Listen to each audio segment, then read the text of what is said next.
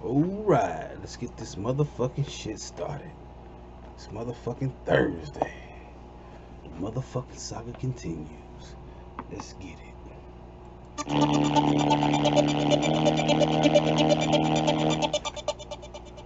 Fuck that tough talk, that shit's irrelevant. Saying you pop off, that shit's irrelevant. If I get caught, you know I'm belling it. If her ass off, you know I'm belling it. Fuck that tough talk, that shit's irrelevant. Saying you pop off, that shit's irrelevant. If I get caught, you know I'm belling it. If her ass off, you know I'm nailing it. By the way, the boy go by Heist Man.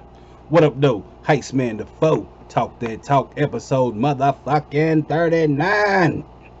Today is Thursday, March the 7th. And um I'm a little behind the eight ball today, right now, you know. Just a little bit, kind of, you know, off schedule. You know, I usually do shit certain times, certain time I don't do shit. But we gonna get right back into it, you know. I've been preparing to go on this motherfucking trip this weekend getaway and getaway means get away from the kids because they ugly. And it's my birthday. And we want to go celebrate without them. Do grown-up things you know? No kids. No chocolate cake no ice cream no balloons. Grown-up shit. Put me a some weed with some candles in it. Woo! No i'm bullshitting. But i i, I got a um a, a um, regular scheduled program that i usually do you know? I don't sleep at night I stay up all night, you know. Like when y'all waking up, I'm still up. I'm already up. So anybody want to fuck with the heist man, fuck with me four, five, six, seven o'clock in the morning. I'm still up getting it, drinking, smoking. But like I said, today, like my, my usual schedule, like um I stay up all through the night and I get my kids up for school. I drop them off, then I go to the shop, do some shit there. Then I come home, then my wife go to the shop. Then three o'clock I pick the kids up and you know, it's the life of heist. But today was a little bit different. You see, the shop didn't have to be tended to this morning. So as I brought the kids home from school, I mean, I brought the kids home from school. As I took the kids to school, I came back and I got into bed. Oh, it's about eight o'clock. 8:15 rolled by. I'm just, ooh, I'm getting into it. I've been sleep. I've been drinking all night the night before, which was Wednesday. Today Thursday, and um, that's all I hear. It's the motherfucking lawnmower man. Oh my God! Why the lawn? Not who? Who played in lawnmower man? Was that Kevin Bacon? No, that wasn't Kevin Bacon. That was Hollow Man. Anyway, the motherfucking dude to cut the grass come by. Legit, you know well, we call them jitterbugs or jits down here in Florida. You know, jit for short, jitterbug. A young man, about 20, 22. He's trying to earn some money. But he cutting the grass today. Oh my God. Why is he cutting the grass? He cutting the grass. I'm waking up. Oh my God, I'm waking up. I'm waking up. I ain't been to sleep. I'm kind of tired. This motherfucker want to get done with the grass and ask me for a cigarette. Why he want to do that for? Oh my God. I'm thinking, bruh, you just got paid. Why you don't want my cigarette for? I give you the money, you go take the money by your shit. And that brings me to a story about my homeboy, Escalade. Harvey Escalade. I nigga checked out the show yesterday too. It was kind of shocking to me because where I'm from, people don't know me from doing no YouTube internet type shit. they know me from rapping and smoking and telling jokes and shit and laughing. But my homeboy, one of my best friends, who I'm older than, by the way, by 11 days. Ha ha. Um, he checked out the show and shit, but it made me think about a story about this nigga asked me for a cigarette after he didn't got paid, you know. So one time, me and my boy Escalade, we sitting at the store. We, we ain't sitting at the store. We go into the store. We probably going to get some beer, some blunts or something shit. You know, we we at the store. And a nigga walked into the store. He um my boy Harvey knew, and he was like, "Yo, what's up, Harvey? Let me get a cigarette." And before I knew it, my boy Harvey blanked out like, yo, what the fuck, man? He asked me for a fucking cigarette. We in the fucking store. oh my god, that shit was so hilarious to me. it is brought to the point like, yeah, why are you asking this man for a cigarette in the store? Like, you came out your way to come inside of a store to ask a man for something that you can pay for yourself. So that made me think about this motherfucking lawnmower man. That's what I'm gonna call him, the lawnmower man. Like I said, I don't know if that was Kevin Bacon or or see, Hollow Man? I, I gotta figure that out. Lawnmower man. That shit, that shit was crazy though. But um, yeah, man. So I'm kind of behind right now because I didn't get the sufficient amount of sleep because of the lawnmower man. Then when I wake up, you know, not when I woke up, but I went up to get out the um, cigarette to the legit and shit. Charlene in there painting. She decided to be Miss Busybody early in the morning. And she want to start painting. She started painting the living room. So the house smell like paint right now. And I got a little headache. And she painted the whole wall. It was like, man, what the fuck are you doing early this afternoon or this morning? It was this morning fuck you doing early this morning fucking um doing your shit painting and shit you know so she doing the most this morning so it got me with a little headache on top of the lawnmower man on top of the drinking from last night it's like uh, i'm kind of woozy so this ain't gonna be the greatest of shows i mean it never is but fuck it we gonna do it anyway talk that talk so um yeah it's kind of crazy. What, what, else I got to talk about? I said Charlene being Miss Busybody. Talked about the nigga with the lawnmower. Eh. Oh, Alex Trebek. Oh man, R. Not R.I.P. yet, but Alex Trebek, stage four. Damn, what's my nigga, man? All the Alexes wind up missing, ain't they? Alex Trebek, Alex Payne, goddamn. Um, LeBron passed Jordan for fourth all time on the damn point board leader whatever. He been playing longer than Jordan. Shit, what you expect? Of course he gonna do that shit. So man, I'm just behind right now, man. Kind of fucked up. I ain't feeling it, feeling it, but I'm feeling it, you know. So fuck it. What else we got today? March 7th birthdays. Uh, Rachel Weisz. She played in the Mummy. Yeah. Wanda Sykes. Wanda Dykes. I'm bullshitting. Shout out to Wanda Sykes. Um, oh, Bryan Cranston. Today his birthday. That's the dude from um, Breaking Bad. Walter White. Heisenberg. All right. And Laura Prepon. Prepon. Orange New Black Chick 70 show. Yeah. Oh, today is my homegirl birthday, Felicia. Back in North Carolina. Big happy birthday shout out to the homegirl Felicia, you know.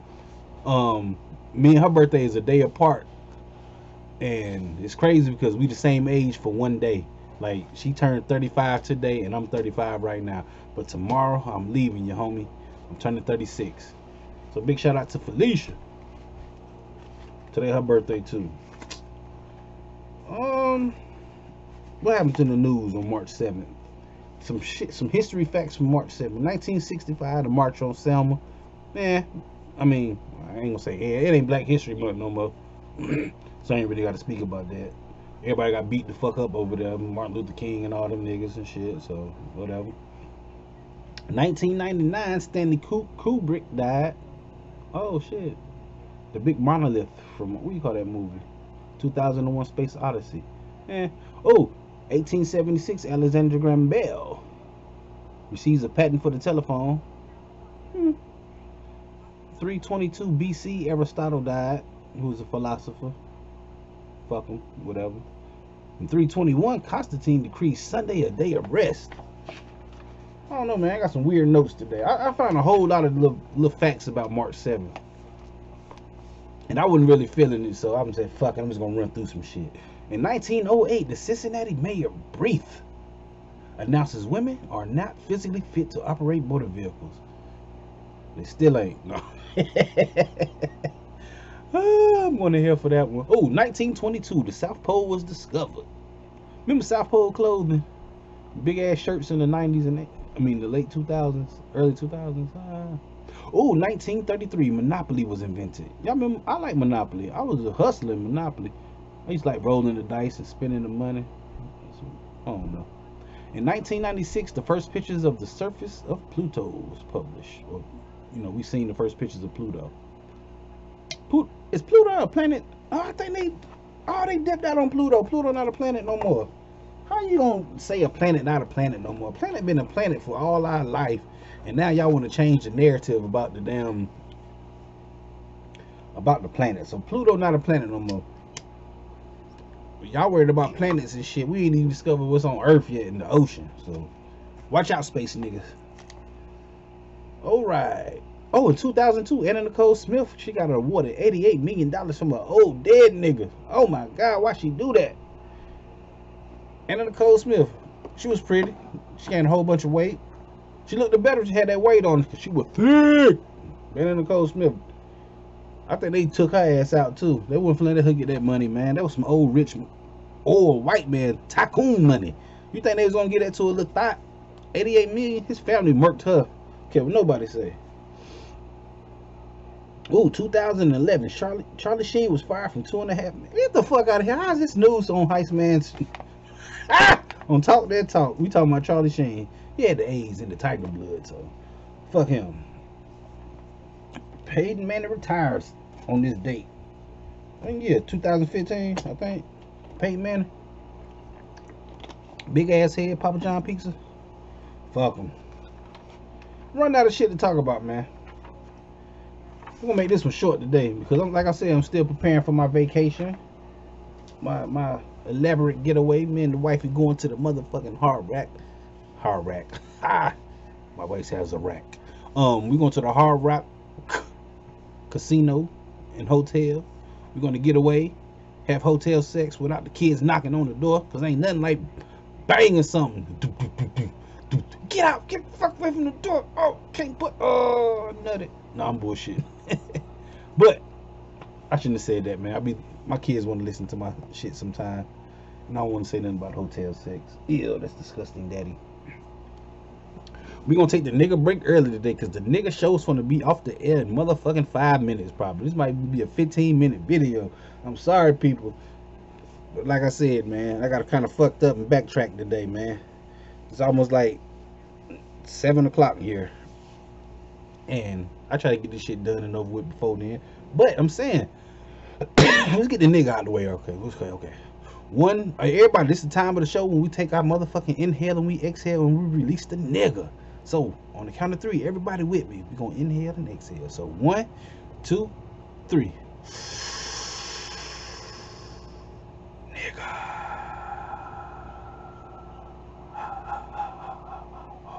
I had to get it all, get it all out. I just brushed my teeth too, so I know that did not smell. Did not smell bad. It smelled great. It smelled like crest. When I said nigga, it's that crest nigga. All right. Um. Okay, what we gonna talk about right now? Oh, today is motherfucking Thursday. That means we gonna be live on the Ray Rawlins Network celebrating the boy Heist Man's birthday. It's been kind of quiet as kept, you know. Not that I ain't been telling nobody, but if I'm gonna tell you, if you're gonna hear, you're gonna hear from me on this channel, man, because that's where I'm at right now, you know.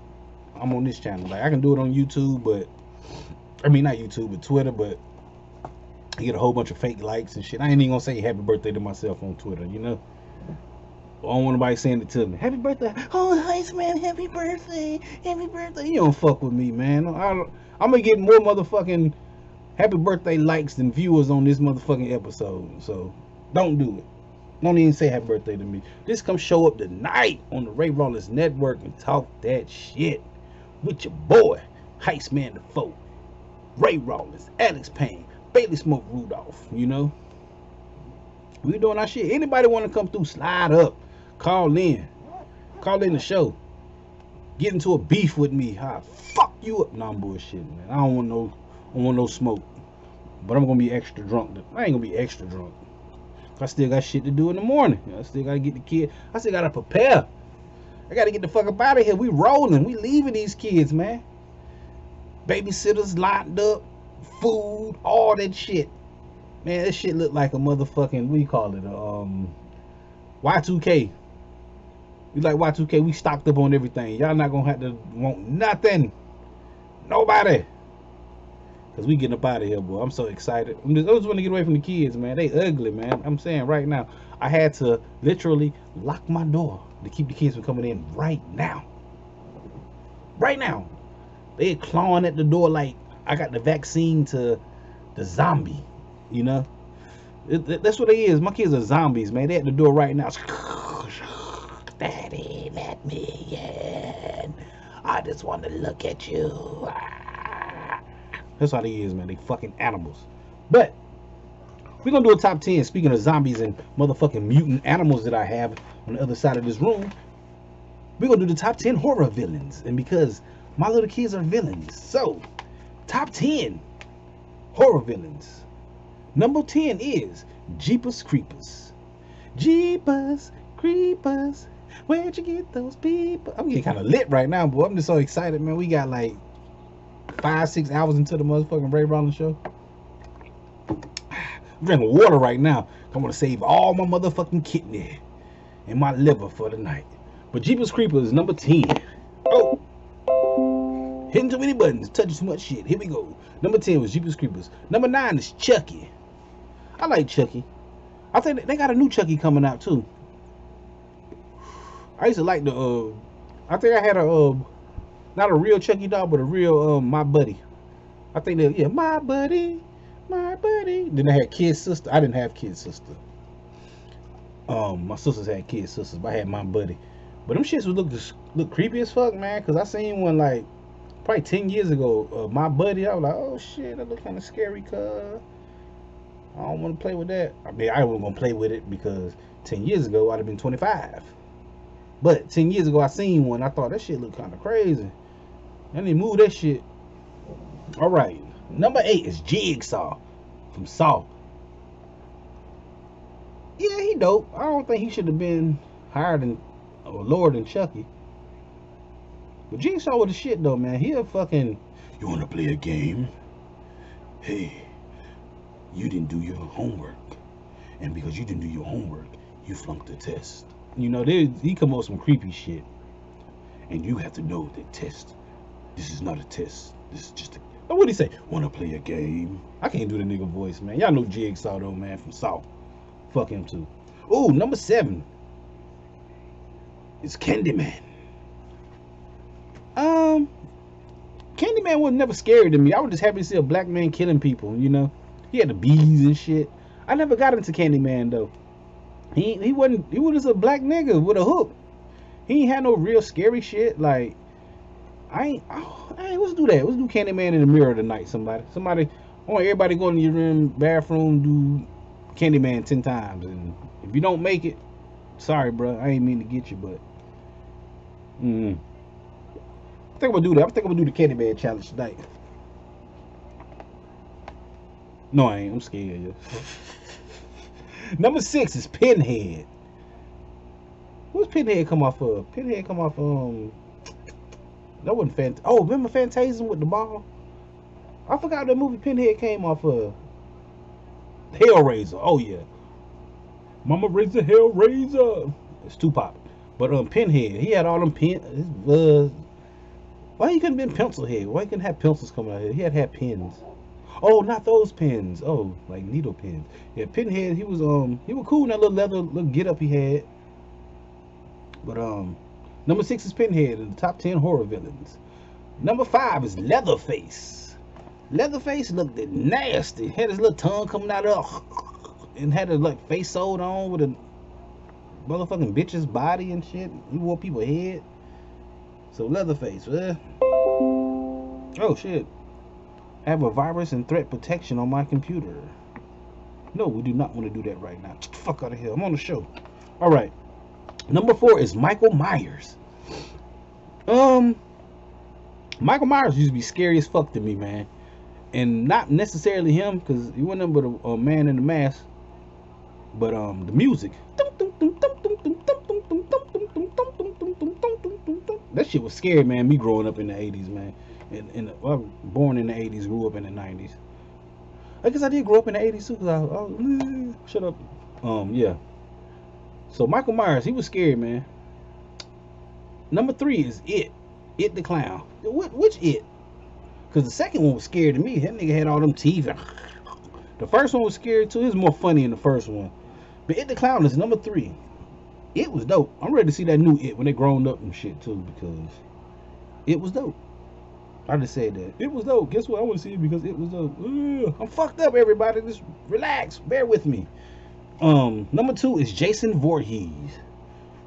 Jason Voorhees, man, that motherfucker. I don't. He must have been a track star because Jason Voorhees caught everybody who ran from him, and he walked. He walked.